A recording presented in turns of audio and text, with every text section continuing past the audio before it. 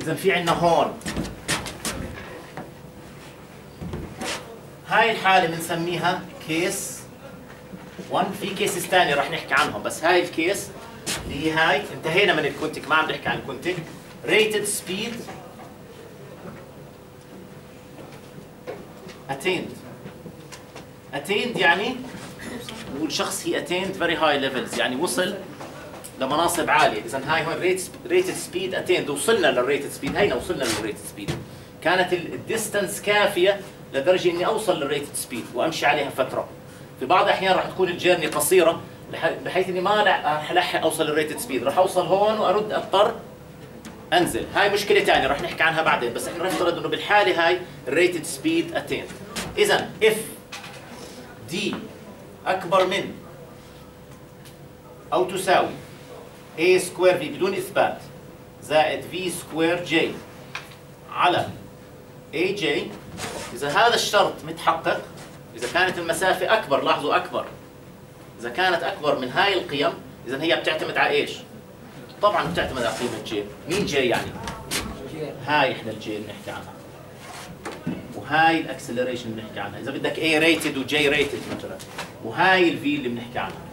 وال d طبعا اللي هي هاي.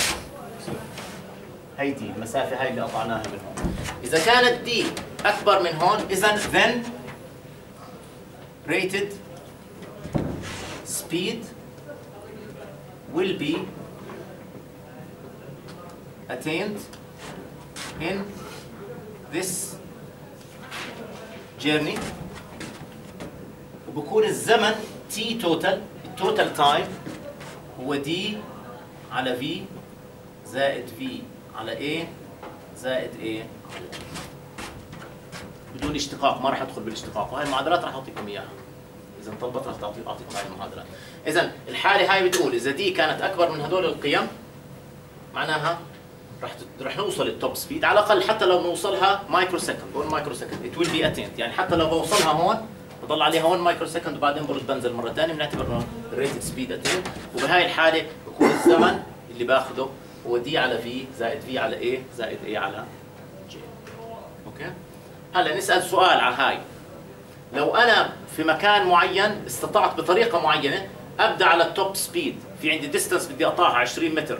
لو بديت على ال top speed كنت أنا ماشي على ال top speed وانتهيت على ال top speed هذا طبعا ما ممكن يصير في الواقع بس إحنا نظريا بنقول.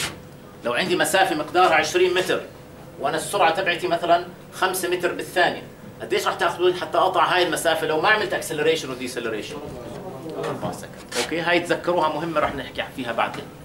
بس أنا فعليا ما بقدر أعمل هيك. ليش؟ لأنه بدي في ضريبة لازم أدفعها. الضريبة هاي الزمن اللي أخذته حتى اتباطع والزمن اللي أخذته حتى اتسارع وما بتباطأ كمان ما عمالي أنا بطلع مباشرة في لسه jerk كمان. فأثر ال jerk وأثر ال acceleration رح يزيد ال journey هاي تبعتي. قديش رح تصير ال journey؟ خلينا ناخذ مثال رقمي لو كانت t عندي هون تساوي 20 d عفوا. لو D total كانت 20 متر بدي أقطع مسافة مقدارها 20 متر و V بتساوي 4 متر بالثانية. وخلينا نفترض إنه عندي 4 4 16 هاي بالضبط راح تكون اتين خلي هاي 24 و A 1 متر. إيش وحدتها؟ ثانية تربيع و J طبعا أنا لما بقول هون J و A هدول ال rated هاي القيمة. وال A rated اللي هي هاي القيمة لأنه A في أخذت وقت كانت A of T هي الوصف لها كلها طيب بالحالة هاي هلا السؤال هل ال top speed ال rated speed attained نعمل الفحص. A واحد و J واحد اذا A في J واحد. V قديش؟ 4 زائد 16 قديش؟ 20 20 أقل من 24 اذا ال rated speed attained 24 أكبر. 24 أكبر من 20 قديش الزمن راح ياخذني؟ راح تكون 24 على 4 زائد 4 على 1 زائد 1 على 1 4 1 4 1 5 5 و6 11 ثانية. طب لو أنا ما اضطريت نظريا اتباطأ واتسارع لو أنا بديت بال top speed وانتهيت بال top speed قديش كان المفروض إنها تأخذني؟